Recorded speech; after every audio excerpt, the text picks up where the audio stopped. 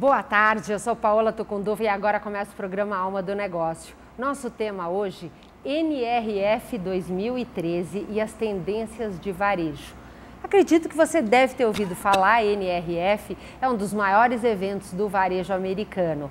E para falar sobre isso, eu tenho aqui no estúdio comigo, ao vivo, Beth Furtado. Ela é psicóloga com especialização em administração, uma consultora com mais de 20 anos de experiência e autora de três livros. Beth, quero agradecer muito a sua presença aqui conosco. Obrigada, Paula. Obrigada pelo convite.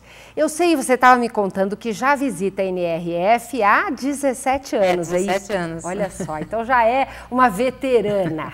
E aí, então eu queria saber um pouquinho o que, que você viu que te chamou a atenção. Afinal de contas, depois de 17 anos, já não deve ser tão fácil chamar a sua atenção, né, Beth? É, mas eu acho que a gente sempre tem a aprender, né, Paula? E acho que o conjunto de coisas que acontecem durante a NRF o fato de você poder visitar algumas operações de varejo novas ou o que você não tenha tido a oportunidade de conhecer, o fato também de você ter um grande é, contato com outros brasileiros ou mesmo outros estrangeiros, tudo isso é muito rico e a gente acaba aprendendo sempre bastante nessas oportunidades. Teve uma coisa, Paula e ouvinte, que é, eu, ouvinte mania de, é, de mania rádio, de rádio, né? eu tenho um, um, programa no rádio. É, um, uma das coisas que a gente está, que eu acho que esse ano ficou bastante forte, é uma tendência em torno da simplicidade. É, esse é um conceito que a gente poderia dizer que não é um conceito novo. No meu livro Desejos Contemporâneos de 2008, eu já tratava que dessa tendência como um fenômeno, é, seja uma busca da sociedade né, por algo mais simples, por uma oferta mais simples, uhum. por uma vida mais simples, por uma vida menos complicada, seja na perspectiva do empreendedor, do varejista, de você ter uma loja mais simples, operações simplificadas, processos, é, é como eu chamo uma loja intuitiva, entendeu? Que você é, consiga entender como consumidor com facilidade, você como operador tenha custos mais razoáveis e é, menores, ou como o vendedor, né, uma loja que não seja tão complicada de manutenção. Então, a simplicidade é, um, é uma das tendências que, para mim, já vem há algum tempo, mas ficou muito forte esse ano. Eu acho que até a questão da simplicidade, a coisa intuitiva, né, o iPhone, o sucesso da Apple, foi exatamente conseguir, através de todos os produtos dela, tudo muito fácil, muito é. intuitivo. Né? Acho que já vem atendendo essa, essa tendência. Né? E simplicidade é uma coisa interessante. Teve um case que foi apresentado lá, que é de uma marca australiana de cosméticos, que é a Aesop. E essa marca, é, um dos empreendedores estava contando como é que ela cresceu, etc e tal, tem lojas magníficas. Você vê cada loja deles e você diz assim, meu Deus do céu, deve ter gasto uma fábula nessas lojas. E não, é, são lojas extremamente simples. É, e elas é, e, e têm um custo extremamente é, barato. Por quê? E aí o empreendedor estava contando lá esse case que eu achei magnífico. Eles não tinham muitos recursos para investir numa loja, do ponto de vista arquitetônico. Muito menos investir num grande profissional de arquitetura para criar as lojas deles. O que, que eles fizeram? Em cada cidade que eles se instalavam, eles chamavam um arquiteto jovem, recém-formado, cheio de ideias criativas, e davam um desafio para ele. Olha, realmente a gente quer começar com uma loja aqui, mas o nosso orçamento é X e um orçamento realmente muito baixo baixo.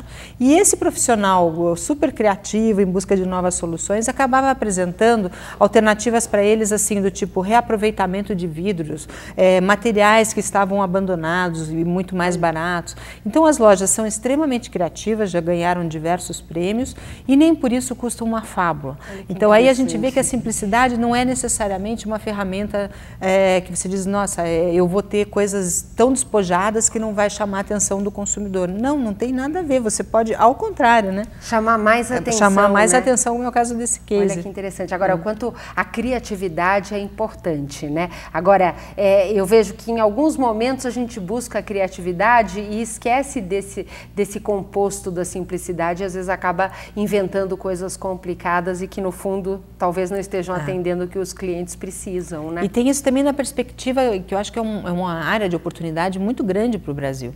A gente tem muitos processos, muitas operações muito complicadas. Se a gente se colocar no lugar dos nossos consumidores, das pessoas nas lojas, a gente vai ver que realmente tem muitas áreas que a gente tem que aperfeiçoar. É só você se colocar no lugar, né?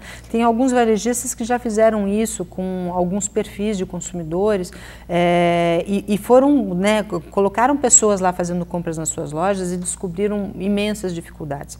Eu acho que se a gente olhar com esse olhar mais crítico para operações e processos, nós vamos é, perceber que as nossas lojas não são nada intuitivas, que na verdade elas são bastante complicadas. E eu acho que talvez a solução está embaixo do nosso nariz é. e às vezes a gente fica achando que precisa contratar alguém de fora, pagar é. uma fortuna e não utiliza esse é. recurso das pessoas que estão ali tão perto. Né? Exatamente. Né? Acho que isso é importante. Agora, é, Beth, eu ouvi muito falar do Omnichannel, uhum. que não é a primeira vez, já se fala há alguns anos do Omnichannel, mas eu às vezes, então, para você que está nos assistindo, Omnichannel é o multicanal, é a loja que tem que estar em vários lugares, online, offline, redes sociais, não é? Acho que é mais ou menos isso. Agora, é possível trazer simplicidade num Omnichannel? Eu acho que essa vai ser a nossa busca, né? De fato, nós estamos ainda esperando é, ver casos né, implantados onde você consiga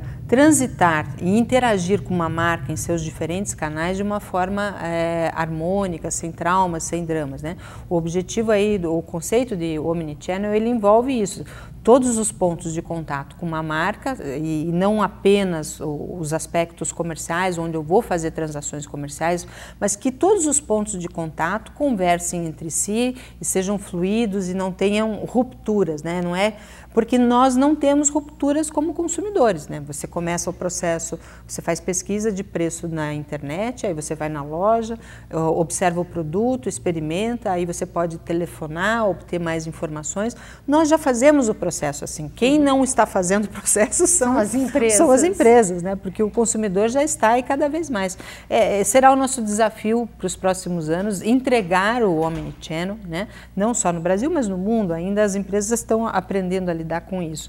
E entregar de uma forma que seja ah, tão natural quanto é para as pessoas quando elas estão num processo de compra. Elas vão, se informam, ligam para um amigo, é, é, buscam informações no Facebook e assim é, essa integração que precisa ser entregue. Né? É, agora o interessante é que você implantar isso de uma forma sistemática e principalmente conforme a empresa vai crescendo, vai ficando mais difícil, né? Porque às vezes quem está cuidando das redes sociais ou, ou colocando as informações no site não está diretamente ligada com o atendente, com o vendedor que está lá na loja loja. Uhum. Então, às vezes, falta comunicação para alinhar esse discurso. Sem dúvida, né? sem dúvida. Sem Eu dúvida. acredito que treinamento e capacitação deve ser um dos grandes desafios é. para implantar esse Omnichannel. Eu acho que né? um dos grandes desafios que nós temos é recursos humanos para os próximos anos, né?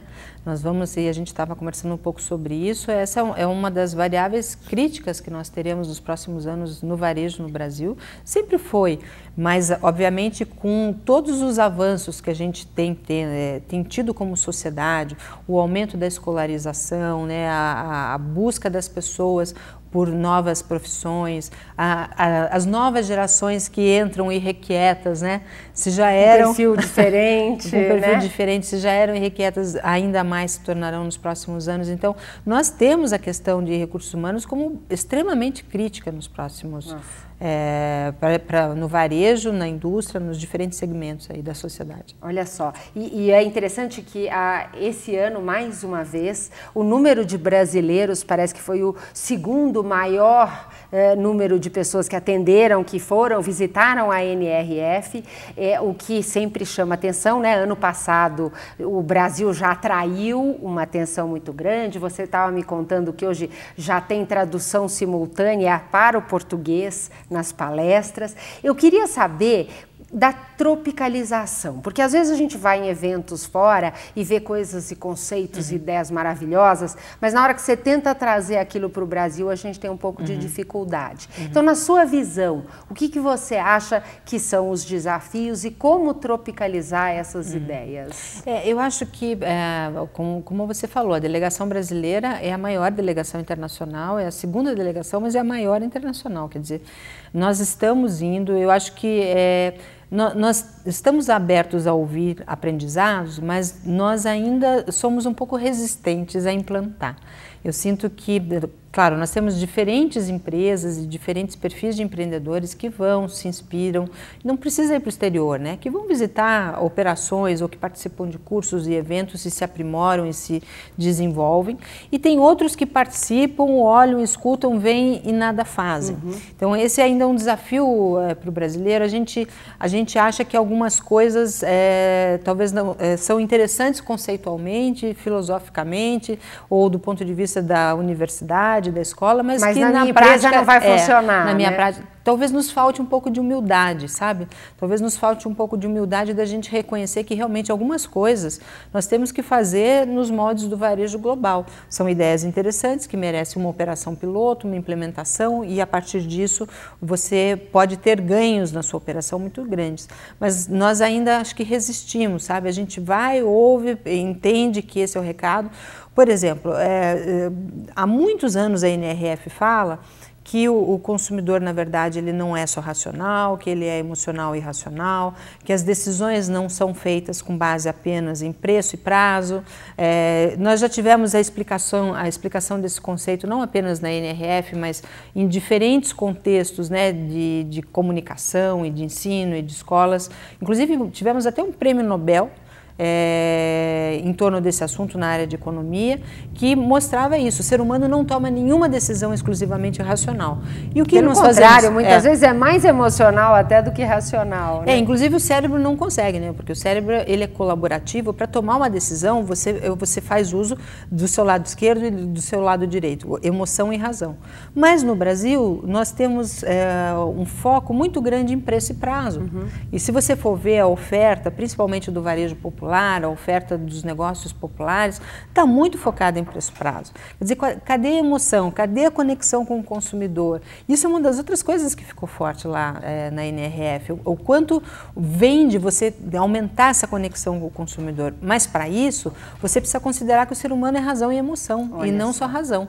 É né? que a emoção é mais difícil, né? Algumas pessoas têm um pouco de, de receio, como lidar com algo tão novo. Você não acha, Paula, que é, é muito esquisito? Nós somos um, pro, um povo emocional. É, é verdade. Nós somos é da cultura latinos. brasileira. É, né? nós, e aí nós temos nos nórdicos, nos norte-americanos, é, varejos que apelam muito mais para emoção do que nós. É. Nós vamos lá para a razão, preço e prazo. Interessante né? É, mesmo. É, que eu acho que o americano ele tem uma, uma capacidade de padronizar. Então, até para lidar com a emoção, ele coloca alguns processos bem estabelecidos, o que os deixa mais confortável, talvez. Agora, eu queria que você contasse um pouco para nós. Esse programa ele está sendo ao vivo, então se você tem dúvidas, perguntas, pode mandar que no segundo bloco a Beth vai responder para você. É, eu queria que você me contasse um pouco das visitas, porque você foi com o grupo da Gouveia de Souza é e eu sei que faz parte do pacote algumas visitas. É. Aonde vocês foram? O que, que você viu de interessante? Olha, Paula, é, eu, eu, eu, vou com a Gouveia de Souza já há alguns anos. Eu acho um, um grupo muito interessante, de alto nível. Sempre é uma experiência muito legal. Esse ano, particularmente, eu não fiz o, o programa de visitas. Esse ano eu me restringi à, parte da, do, do, evento, evento, propriamente dito. Agora, eu vi que o grupo fez várias visitas interessantes em diferentes é, lugares. Eles foram visitar, por exemplo, o Uniqlo, que é uma, uma operação absolutamente emblemática. É, é uma, que, é, é uma loja, é, né? Aí, não, eles têm loja na, na Quinta Avenida, estão com uma loja no Sorro. E eles tiveram também estão, em New Jersey, eles tiveram a oportunidade de visitar ah, ah, algumas operações deles e, inclusive, eu ouvi ter a percepção eh, dos gestores da entrada da marca nos Estados Unidos. Eles contaram um pouco como é que foi chegar num mercado sem, eh, sem ter o conhecimento de marca. E eles têm um trabalho muito interessante hoje de entrada de marca. Por exemplo, eles utilizam aqueles containers que são lojas temporárias que eles instalam no mercado, que eles vão entrar para testar isso, o mercado? É para que eles colocam numa área de grande circulação de pessoas esses ah. containers e é uma loja, né, uma loja compacta, onde o consumidor tem a oportunidade de interagir com a marca, conhecer, entender a proposta antes da loja abrir. A origem, é. eles são japoneses. japoneses. É, é o grupo Fast Retailing, é um grupo japonês. Eles, eles têm um trabalho, eles não são uma, uma rede que trabalha com moda no conceito que nós temos como Zara, como Riachuelo, CIA, H&M, eles trabalham é, muito mais no sentido do básico é, com tecnologia, o básico com tempero e a tecnologia é absolutamente incrível. Então você tem roupas super leves para o inverno, você tem tecidos que trabalham com inverno e verão de uma forma muito mais amigável e muito mais inteligente. A mesma roupa que eu posso usar no verão e no inverno? Não, você tem, por exemplo, blusas adaptadas para a realidade de inverno, porque quando você sai no inverno é aquela coisa, você vai se enchendo de, de camadas e vai ficando com 500 quilos, né? E é difícil, é pesado, é uhum. é desconfortável e você sua e aí o tecido não é um tecido inteligente gente. O tecido deles, primeiro, é extremamente leve. É, a, a, questão é, é quase como aqueles tecidos do esporte, né? Tá. Onde você sua tem uma e o tecido tem todo seca um, muito é, rápido. Eu, eu, eu, tive, eu comprei uma, uma, uma, jaqueta que eles têm e você pega com assim minimamente. É aquilo adaptado para você andar em Nova York. E brasileiro às vezes é. até duvida, será que isso esquenta mesmo? É uma coisa incrível. Então assim, e de um lado coisas a 14 dólares, 15 dólares, é, 80 dólares, o que numa outra marca seria 300, 400 dólares. Nossa, então eles conseguem é, trazer eles, tecnologia eles trazem com tecnologia com preço extremamente acessível e essa coisa básica, eles conseguem dar um charme para o básico. Então você compra uma peça básica que tem a ver com a simplicidade, né, mas com charme. Né? Olha, Agora, por exemplo, eles estão com uma parceria com uma estilista, a Orla Kille, que eles é, trabalharam vários tecidos inteligentes com uma padronagem personagem super interessante, super bonita. adorei, que coisa, que delícia. Então a Beth Furtado está contando tudo sobre a NRF, você que está nos acompanhando. Nós vamos fazer um rápido intervalo comercial e no próximo bloco ela vai responder as perguntas que você pode mandar. Basta colocar embaixo da sua tela, você tem um espaço para pôr o nome, a sua pergunta, dúvida, o seu comentário. Clique em enviar que nós vamos receber aqui no estúdio. E ela vai contar um pouco também de tendências de varejo varejo e do livro dela, que fala um pouco sobre os desejos, não é Exatamente. isso? Quais são esses desejos que ela estudou bastante e encontrou alguns deles lá na NRF como a simplicidade. Rapidinho, nós já voltamos.